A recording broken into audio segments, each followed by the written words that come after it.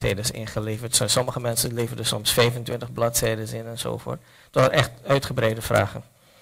En ehm, had ze erbij, het, was een, het was een mevrouw die, en, ze had het, maar ze had het ontzettend mooi geschreven. Maar aan het einde heeft ze geschreven, zeg neem me niet kwalijk, maar ik ben niet goed opgeleid. Ik zeg, ik ben maar een simpele huisvrouw. Toen heb ik eronder geschreven, waar, daaronder geschreven, Noach, boer. Mozes, herder. David, herder. Paulus, tentenmaker. Discipelen, vissers. Jezus, timmerman. Ik begrijp waar ik naartoe ga. God roept geen kwalificeerde mensen, hij kwalificeert de mensen die hij roept. De vader, vandaag wil ik het, eh, laten we samen kijken naar Lucas hoofdstuk 15. Ik moet, ik moet wel eigenlijk beginnen met hiermee dat velen van ons zijn tamelijk teleurgesteld in onze vaders. Lucas 15. Ik kom zo op het vers, maar dat jullie al, dat alvast hebben. 15. Ja, velen van ons zijn teleurgesteld door, onze vaders. En vele vaders zijn echt geen vaders geweest.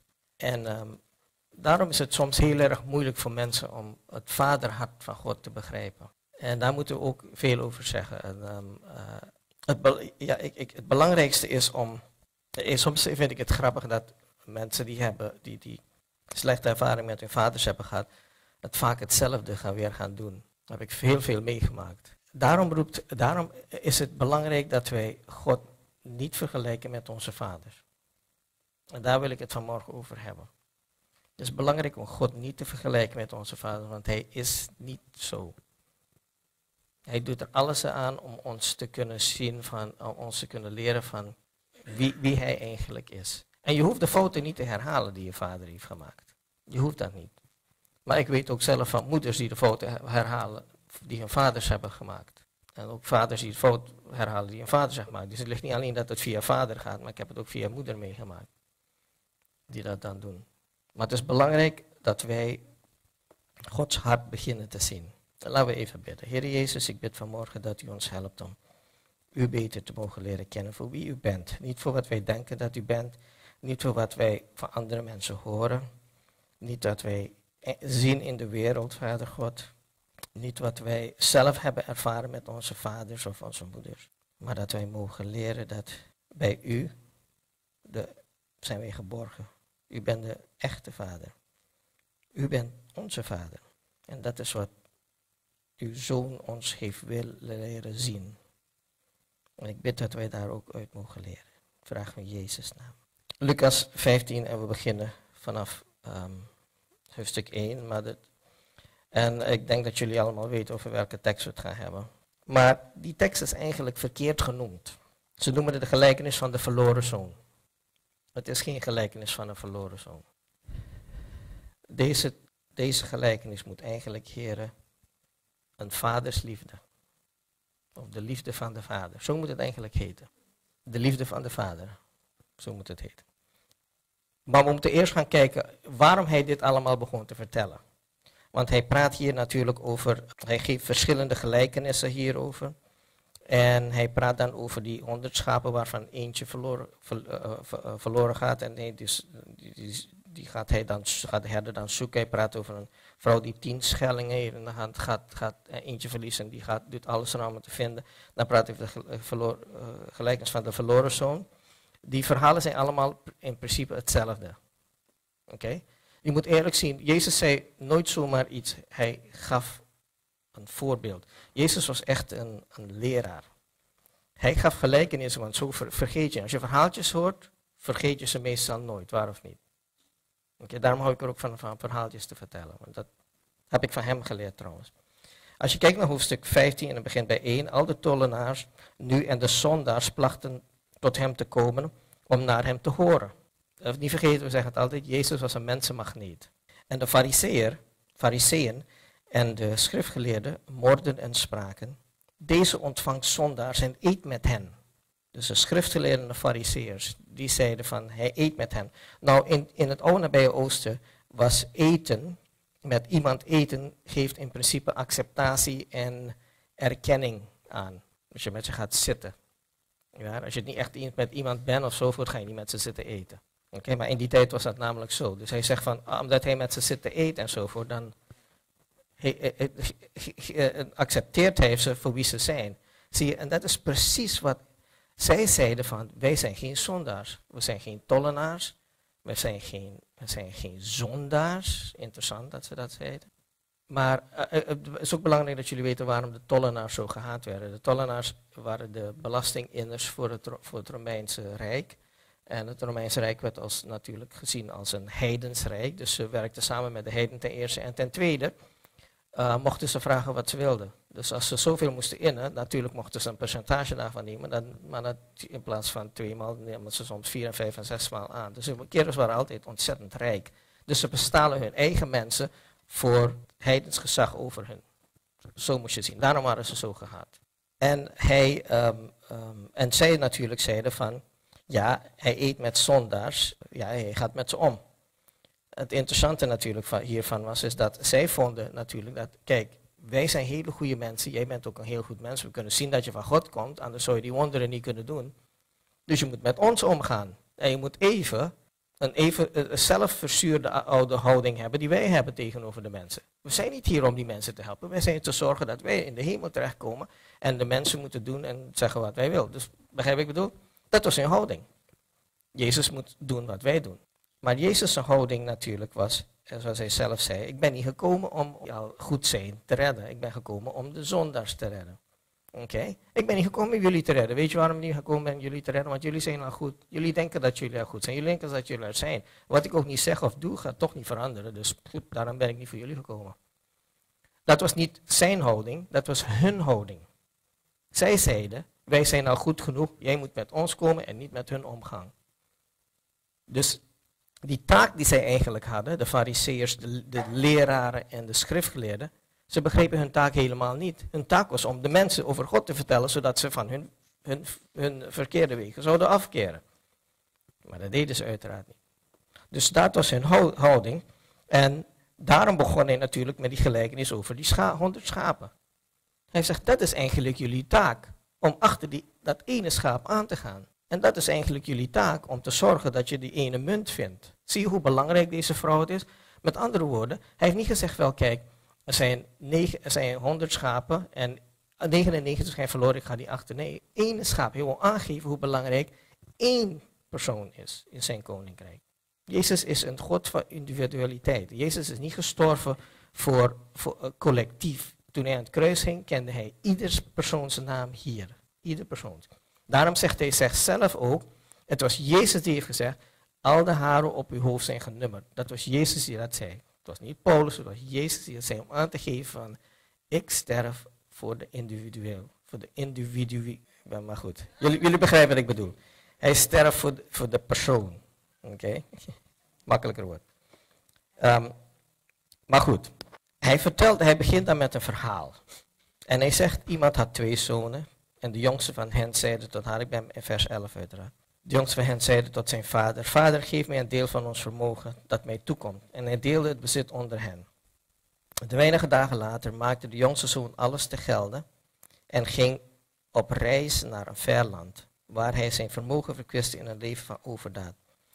Toen hij er alles doorgebracht had, kwam er een zware hongersnood over het dat land en hij begon honger te lijden. En hij trok eruit en drong zich aan bij een der burgers van het land en, hen, uh, en die zond hem naar het veld om zijn varkens te hoeden. En hij begeerde zijn buik te vullen met de schillen die de varkens aten, maar niemand gaf ze hem. En toen hij tot zichzelf eh, zeide, hoeveel dagloners van mijn vader hebben brood in overvloed en ik kom hier om van de honger. Ik zal opstaan en naar mijn vader gaan en tot hem zeggen, vader, ik heb gezondigd tegen de hemel en voor u en ik ben niet meer waard uw zoon te heten. Stel mij gelijk met, de, met uw dagloners. En hij stond op, keerde naar zijn vader terug. En toen hij van nog veraf was, zag zijn vader hem en werd met ontferming bewogen. En hij, en hij liep hem tegemoet, viel hem om de hals en kuste hem. En zijn zoon zeide tot hem, vader, ik heb gezondigd tegen de hemel en voor u. Ik ben niet meer waard uw zoon te heten. Maar de vader zei tot zijn slaven, Breng vlug het beste kleed hier en trek hem, het hem aan. En doe hem een ring om zijn hand en schoen aan zijn voeten. En haalt het gemesterde kalf en slacht het en laten wij een feestmaal hebben, want mijn zoon hier was dood en is weer levend geworden. Hij was verloren en is gevonden. En zij begonnen het feest te vieren. Zijn oudste zoon was op het land en toen hij dicht bij huis kwam, hoorde hij muziek en dans. En hij riep een van de knechten tot zich en vroeg wat er te doen was. En deze zei tot hem, uw broeder is, uh, uw broeder is gekomen, uw vader heeft het gemeste kalf laten slachten, opdat hij hem gezond en wel terug heeft. Maar hij werd boos en wilde niet naar binnen gaan. Toen kwam zijn vader naar buiten en drong bij hem aan. En hij antwoordde en zeide tot zijn vader, zie zoveel jaren heb uh, ben ik al in uw dienst en nooit heb ik uw gebod overtreden. Maar mij hebt gij nooit een geitenbokje gegeven om met mijn vrienden feest te vieren. Doch nu die zoon van u gekomen is, die uw bezit heeft opgemaakt met slechte vrouwen, hebt gij voor hem het gemeste kalf laten slachten. Doch hij zeide tot hem, kind, gij zijt altijd bij mij en al het mijn is het uw. Wij moesten feest vieren en vrolijk zijn, want uw broeder was dood en is levend geworden. Hij was verloren en is gevonden. Zo zien we dat de fariseërs is eigenlijk die oudere broer. Zijn houding was ikke, ikke, ikke en de rest mag stikken. Daar komt het eigenlijk op neer. Ik ben de goede persoon hier, niet mijn broer. Mijn broer is slecht, schop hem eruit en laat, ook af, laat het klaar zijn met hem, afgedaan zijn met hem. Maar ik wil een paar dingen van dit verhaal. Dit is de vader. Dit verhaal moet niet heten de verloren zoon, maar de liefde van de vader. Zo moet dit verhaal heten. En waarom? Is dit is eigenlijk wat een vader zou moeten zijn. Dit is hoe een vader moet zijn. Want je kijkt naar bepaalde dingen. Er staat hier, kijk bijvoorbeeld um, vers 20.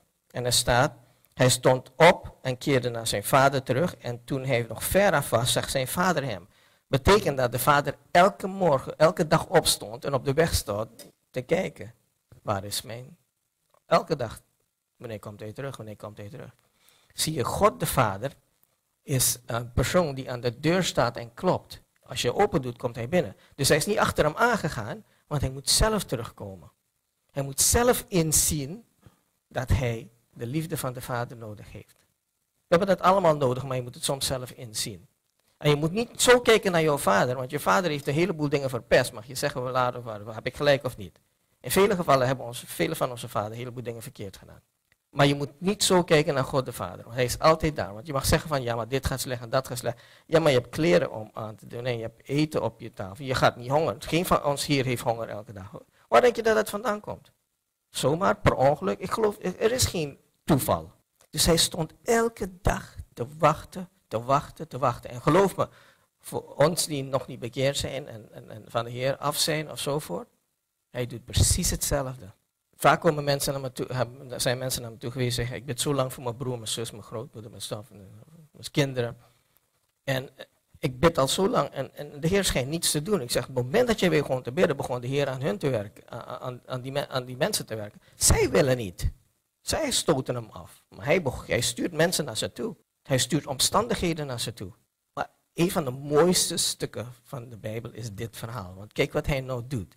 Kijk wat hij nou doet. Ik lees nog eens een keer, vers 20. Hij stond, en hij stond op, keerde naar zijn vader terug. En toen hij nog veraf was, zag, hij zijn, zag zijn vader hem, werd met ontferming bewogen. Hij was zielsblij die jongen weer te zien. En hij liep hem tegemoet, viel hem om de hals en kuste hem. En zijn, en zijn, zijn zoon natuurlijk had een hele speech voorbereid. En hij zeide tot hem, vader, ik heb gezondigd tegen de hemel en voor u. Ik ben niet waard uw zoon te heten. Maar de vader zeide tot zijn slaven, hij negeert hem straal. Negeert straal wat die jongen gezegd heeft. Want kon, alles wat in zijn hoofd weer galde is, hij is terug, hij is terug, hij is terug. Dat is alles wat in zijn hoofd weer galde. Begrijp ik bedoel? Maar weet je wat het mooiste van dit verhaal is? Weet je wat jullie het mooiste van het verhaal is? Iets dat wij als vaders allemaal moeten leren en moeders trouwens ook. Hij heeft één ding niet gedaan. Wat heeft hij niet gedaan? Geen verwijt. Het kon hem niet schelen. Weet je wat Jezus' houding is? Het kan me niet schelen waar je vandaan komt, het kan wel schelen waar je naartoe gaat. Het kon hem niet schelen, was geen verwijt. Waar is een verwijt? Het is geen verwijt. Hij luistert niet eens naar die jongen. Waar is al dat geld dat ik je gegeven heb? En waar, heb je het besteed? Waarom zie je er zo uit? Kon je niet een beetje geld aan de kant hebben gezet om tenminste wat eten aan de kant te... ik bedoel, hè? Niets. Hij luistert niet eens naar hem. Hij is zo blij dat hij hem alles oplegt. En weet je wat het interessante hiervan is? Direct in ere hersteld. Die ring in het oude nabije oosten betekent een ring van een koning, van gezag, van autoriteit. Hier, boem, je bent weer mijn zoon. Je hoeft niets meer te zeggen. Je bent er. Om, het feit dat je er bent betekent van dat ik ben er. Ik ben teruggekomen. Dat is alles wat God van ons wil, dat we terugkomen. En dat geldt ook voor ons als christenen, want wij doen dat ook. Als christenen gaan we lopen ook vaak van God weg. Al komen we naar de kerk, al lezen we onze Bijbel, soms lopen we van God weg. In, ons, in onze houding, in onze zielen. Dat hebben we allemaal meegemaakt. Waar of niet? En hij zegt natuurlijk, maar zie je, hij zegt niet, hij zegt niet, um, de vader zegt, breng vlug het beste kleed. Ik wil niet zomaar iets, het beste kleed. Breng hem een ring, breng schoenen voor zijn voeten. Hij was natuurlijk helemaal berooid, dus hij had niet eens meer schoenen. En natuurlijk waar hij werkte moest hij varkens, je moet niet vergeten, zijn joden. En varkens zijn ontzettend ons, on, um, onreine dierenvoedsel. Dus hij was, hij was zo laag gevallen dat hij zelf het voer van varkens, onreine dieren, zou willen eten. En wat je ook hebt gemerkt is dat geen van die vrienden waarmee hij allemaal om, die, die hebben allemaal een rug naar hem toegekeurd. Maar de God de Vader doet dat niet. God de Vader doet dat niet. Hij zegt ook hier, zie je, maar zijn houding was ook natuurlijk, als je kijkt naar vers 13 bijvoorbeeld, heeft hij, uh, weinige dagen later maakte de jongste zoon alles te gelden. Dus hij heeft zijn vader van alles gegeven, hij heeft het verkocht, zodat hij allemaal in, in, makkelijk mee kon nemen. Dus met andere woorden, hij laat niets achter om terug te kunnen komen. Zie je dat? Hij heeft alles verzilverd, zodat hij niet terug hoefde te komen. Hij wou niet terugkomen. Maar het is zo'n beetje die houding als van, van de discipelen. Toen die, al die andere discipelen Jezus hadden verlaten. En hij keert zich naar, naar, naar Petrus en, die twaalf. En de andere elf. En hij zegt van, wil jij me ook verlaten? Ik zeg, waar moeten we naartoe gaan? Je mag zeggen en doen en laten wat je wil, maar Jezus is net een ronde muur. Je kan lopen in welke richting je dan ook, je komt hem toch weer tegen. Maar hij dringt zich niet op. En dan zien we ook hier, ehm, ook in vers 28 even. Is, nee, nee, sorry, is dat die, die, die broer, die, die jongere broer die weggaat, hij natuurlijk wil ook vrij zijn van het ouderlijk gezag. Hij wil daarvan weggaan. Maar zie je, vaak vergeten onze kinderen dat, ik zeg het ook vaak tegen mijn zoon, ik, ik doe dit niet omdat ik wil dat je wil, dat ik wil dat je doet wat ik, dat ik je zeg. Maar omdat ik hier al ben geweest. En ik weet wat eruit gaat komen. En ik geloof verschillende keren zeiden ze tegen me, maar hoe wist je dat dat zo gebeurde? Ik zeg, ik ben ook 15 jaar geweest. Ik heb die, je mag zeggen wat je wil. Hoe meer dingen veranderen, hoe meer ze hetzelfde blijven. Ik heb jullie toch verteld dat een man een keer heeft geschreven, de, jeugd van vandaag is ongehoorzaam, zijn, zijn, zijn opstandig. Ze doen en laten wat ze willen en ze, ze, ze, ze tonen geen, geen, geen um, respect aan autoriteit enzovoort. Aristotel, 250 jaar voor Christus heeft dat geschreven. Niets veranderd. Ben ook opstandig geweest. Toen ik 18 jaar oud was, was ik zo boos op mijn ouders dat ik gezegd wel, ik, ik, ga, ik ga in het leger. En mijn leger gaan betekent naar Vietnam natuurlijk. Moeder was niet blij daarmee. Dat heb ik ook gedaan. Nou, als we kijken naar, um, ook weer naar vers 3 van hoofdstuk 15 hij sprak over deze gelijkenis natuurlijk. Hij gaf aan dat, dat um, dit verhaal, of deze verhalen, en waarom Jezus dit eigenlijk zei, is om het, de, het contrast aan te geven van de liefde Gods met de exclusiviteit van de Fariseërs. Zie je? Zij vonden van, dit is ons clubje, wij zijn goed, iedereen die goed is moet bij ons, iedereen die wij, sorry, laat me het anders zeggen, iedereen die wij vinden dat goed is, zoals wij dat zijn, die mag in ons clubje zijn. Voor de rest, niemand anders. Dus Jezus was natuurlijk uitgenodigd om in hun clubje te zijn. Vind je niet geweldig, zie je? Dus daar zie je, het ook een goede les om te leren. Je hebt een groepje mensen die zeggen van, hé, hey, wij zijn geweldig, wil je met ons meedoen? En dan soms hebben we een idee van, oh, dat is geweldig, ik wil daarbij zijn. Ik heb maar één woord voor jullie. Ren. Kijk even naar Deuteronomie. Um, Deuteronomie hoofdstuk 1. Gewoon een paar teksten wat de Bijbel zegt over, over God. En zijn houding tegenover ons. Deuteronomie hoofdstuk 1. Het vijfde boek van de Bijbel vers 31. Ik begin bij vers 30.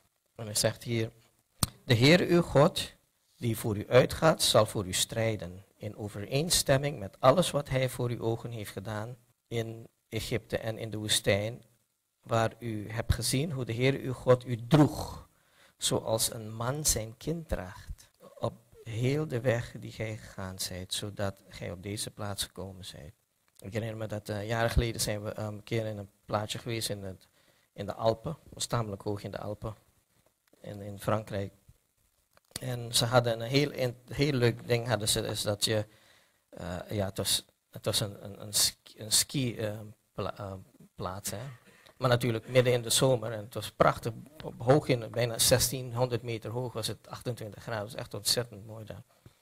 Maar dan kon je met, uh, wat ze dan deden, is ze hadden van die honden en dan krijg je zo'n harnas om je heen en dan trokken die honden je de berg op. Want het is moeilijk te lopen in de bergen, die, in die bergen. Dus trokken die honden. En um, Seth wou ook gaan, maar hij was nog echt zo'n dreumisje.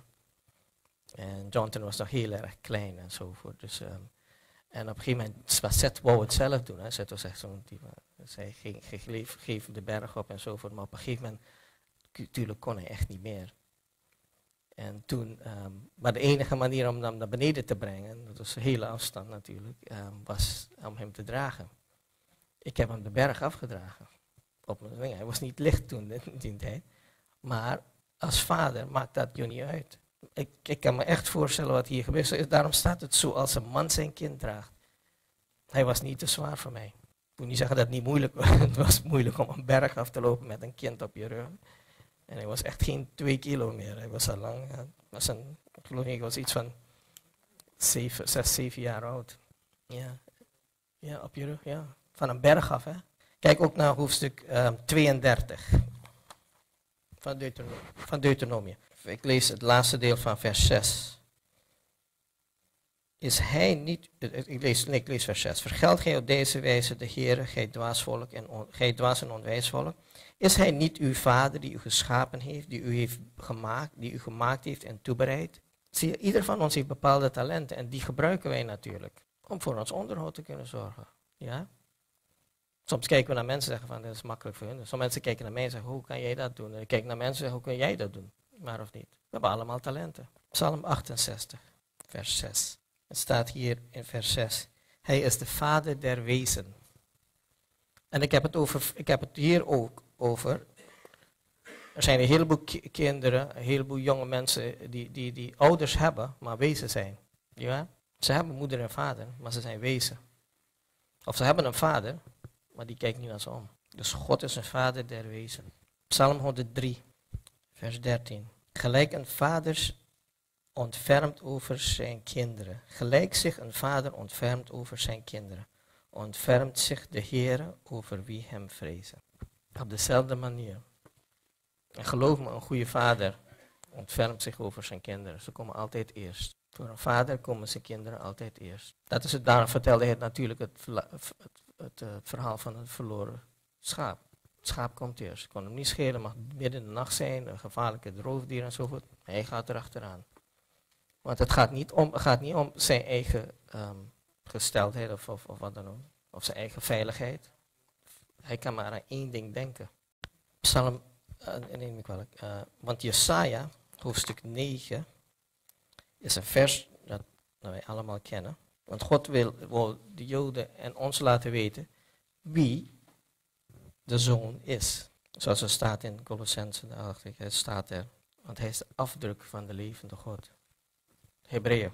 Ik lees vanaf vers 5. Jullie kennen deze tekst allemaal. Want een kind is ons geboren, een zoon is ons gegeven, de heerlijkheid rust op zijn schouder.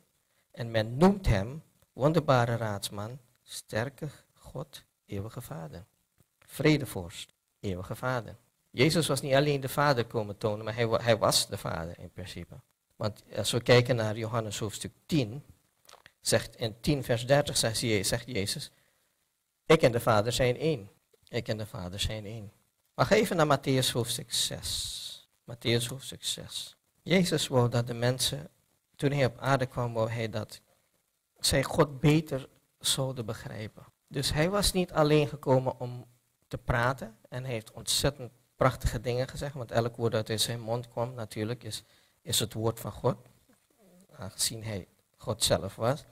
Maar hij wil ook laten weten niet alleen wat God was, maar hij wil hoofdzakelijk laten weten wie God was en hoe hij omgaat wat hij van de mensen denkt. Hij wil hun laten zien. Zie je, de mensen dachten over die, de jaren heen van, we zijn niet zo belangrijk voor God, want alle soort dingen gebeurt met ons. Nee, dat is niet waar. Hij zegt zelf, begon hij, vers, begon hij te zeggen, vers 25. Daarom zeg ik u, wees niet bezorgd over uw leven. Want gij zijt, wat gij zult eten of drinken, of over uw lichaam, waarmee gij het zult kleden. Is het leven niet meer dan voedsel en het lichaam meer dan kleding? Ziet naar de vogelen des hemels. Zij zaaien niet, zij maaien niet en brengen niet bijeen in scheuren. En toch voedt uw hemelse vader die. Gaat gij ze niet verre te boven? We zijn veel belangrijker dan die vogels. Wie van u kan door bezorgd zijn één L aan zijn lengte toevoegen? En wat zijt gij bezorgd over kleding? Let op de lelien des velds, hoe zij groeien. En zij arbeiden niet en spidden niet. En ik zeg u dat zelfs Salomo in al zijn heerlijkheid niet bekleed is als één deze. Indien God nu, indien nu God het gras des velds, dat er heden is en morgen de oven geworpen wordt, zo bekleed, zal hij u niet veel meer kleden, kleingelovigen? Maak u niet bezorgd, zeggende, wat zullen wij eten of wat zullen wij drinken en waarmee zullen wij ons kleden? Want naar al deze dingen gaan de zoeken der heidenen uit. Met andere woorden, mensen die niet naar God omkijken of geen God hebben. Maar zoek eerst, neem niet kwalijk, maar, vers 32. Maar naar al deze dingen gaat het zoeken der heidenen uit, want uw hemelse vader weet dat gij dit alles behoeft. Hij weet het. Maar zoek eerst zijn koninkrijk en zijn gerechtigheid en dit alles zal u bovendien geschonken worden. Maak u dan niet bezorgd tegen de dag van morgen, want de dag van morgen zal zijn eigen zorgen hebben. Elke dag heeft genoeg van zijn eigen kwaad. Zoals iemand eens heeft gezegd. Vandaag is de morgen waar je gisteren zorgen over maakte. Is het zo erg als je dacht dat het zou zijn? Niet echt, waar of niet? Hij zegt hier, hij leert ons hier dat alles wat alles van, dat om ons heen draait, eten, drinken, kleding, waar we moeten wonen, dat zijn Gods zaken, dat zijn niet onze zaken. Dat zegt hij letterlijk hier, want uw hemelse vader weet dat u dit nodig heeft. Maar zoek eerst zijn koninkrijk. Met andere woorden, hij zegt, zet de dingen, juist, zet de dingen in het juiste perspectief. Oké? Want je hebt mensen die eerst deze dingen zoeken, zetten God aan de kant. Maar als je God voorzet, worden deze dingen je bovendien geschonken. Begrijp je? Dat is wat deze tekst bedoelt. Als je eerst gaat kijken van ik wil, ik moet eerder, ik ga allemaal alleen daar en daar denken enzovoort, ga je daar ook geen vrede mee hebben. Oh, ik ben een beetje laat. En Jezus zegt natuurlijk ook in Johannes 14, vers 6, zegt hij, niemand komt tot de Vader dan door mij. Jezus is de toegang tot de Vader. Jezus de toegang tot de Vader. Maar hij wil ons laten weten, en dan kijk even nog naar Romeinen, ik ga zo al die teksten wel netjes bij elkaar zetten. Kijk naar Romeinen hoofdstuk 8, ik lees vanaf vers 14. Want allen die door de geest Gods geleid worden, zijn zonen Gods. Want gij hebt niet ontvangen een geest van slavernij om opnieuw te vrezen. Maar gij hebt ontvangen de geest van zoonschap, welke door wij, welke door wij roepen, door welke wij roepen, Abba Vader. Die geest getuigt met onze geest dat wij kinderen God zijn. Zijn wij nu erfgenamen, dan zijn wij, ook, zijn wij kinderen, dan zijn we ook erfgenamen. Erfgenamen van God en mede-erfgenamen van Christus. Immers, indien wij delen in zijn lijden, is, uh, is dat ook om te delen in zijn verheerlijking. Zijn wij kinderen, zijn wij erfgenamen. Zie je, dus die jongen, die komt terug en hij wordt direct weer erfgenaam. Ja, dus zeg die ring weer, want hij is een kind. Hij is weggegaan, zeg, ik heb, hij heeft alles verkocht, ik kom niet terug, ik wil niets meer daarmee te maken hebben. Maar hij keert terug, vraagt vergiffenis, in ere hersteld, zonder verwijt. God wil alleen maar dat we terugkomen. Nou, wat ik eh, jullie mee wil laten, is dat wij echt moeten beginnen te kijken naar God voor wie Hij is. En niet naar onze vaders die fouten hebben gemaakt. Niet naar onze moeders die verkeerde dingen hebben gezegd of hebben gedaan.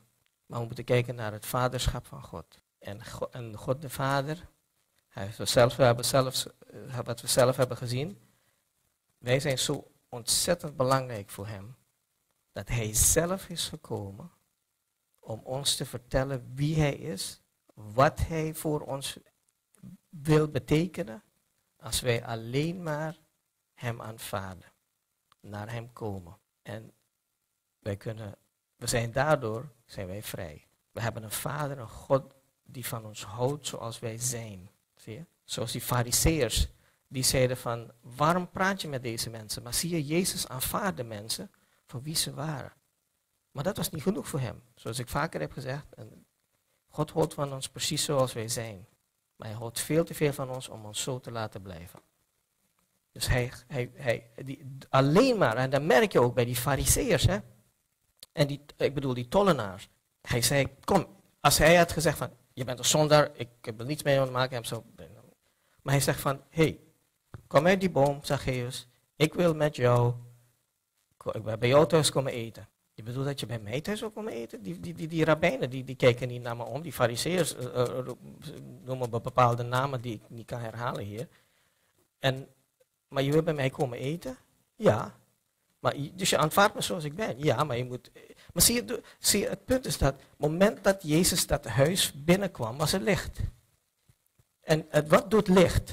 Wat zei Ja, klopt. Licht eigenlijk onthult een heleboel dingen. Dan begin je jezelf te zien voor wie je bent. Het moment dat Jezus in je omkomt. Hij zegt niets, hij maakt geen verwijten. Jij gaat het zelf zien. En dat begon die man te zien. Hij gezegd, heer, als ik iemand heb um, benadeeld, geef ik het viermaal terug. En heer, enzovoort, enzovoort. Dus dat heeft gezegd. Jezus heeft niet gevraagd om dat te doen. Kijk, deze het verhaal. Jezus heeft niet gevraagd om te doen. Maar zijn licht kwam binnen. Zijn vaderlicht kwam binnen. En toen zei die man, ik ben een zondaar. En ik wil het rechtzetten. En ik wil niet al dat geld hebben, want ik hoef me daar geen zorgen over te maken, want dat is Gods taak om te zorgen dat ik te eten heb, te drinken heb, een huis heb om te wonen en kleren om te dragen. Dat is niet mijn taak, niet mijn taak. Daarom zegt hij, we zijn een vader. Ik heb het voorbeeld al vaker aangehaald. Onze kinderen zitten niet elke dag zorgen te maken, wat moet ik aandoen enzovoort. Ze doen, ze doen de ijskast open en dingen vallen op hun. Ja? Ze doen, ze, ze doen hun kasten open en, en, en, ze hebben zoveel kleren.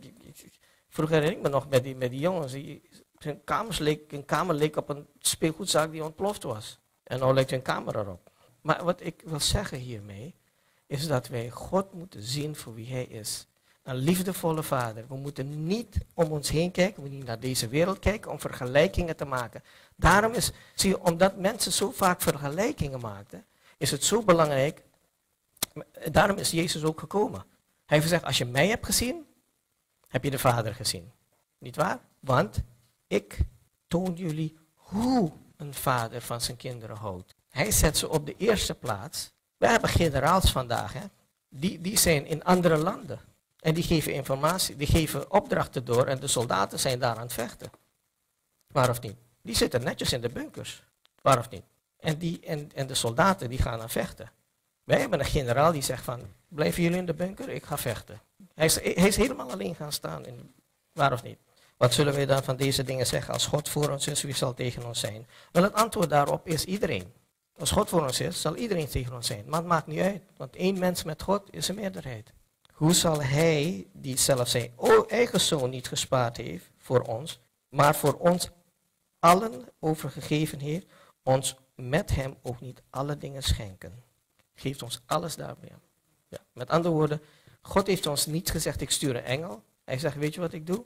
Ik stuur het beste dat de hemel heeft. En het beste dat de hemel heeft is God zelf. Vader God, ik bid vanmorgen dat wij uw vaderhart mogen begrijpen, uw vaderhart mogen zien. En dat wij u niet vergelijken met de mensen om ons heen. Maar dat wij mogen zien hoeveel u van ons houdt. En dat er ieder die gekwetst is uit het verleden, Vader God, dat er genezing mag komen, dat er vergiffenis mag komen naar de ouders toe of naar de mensen toe die ons verkeerd hebben behandeld. Maar dat wij mogen weten, Vader God, dat bij u er vergiffenis is, dat er bij u genezing is. En wij danken u hiervoor, Vader God. Zegenen ieder vanmorgen. En dat zij het vaderhart van God mogen ervaren. Dus vragen we in Jezus' naam.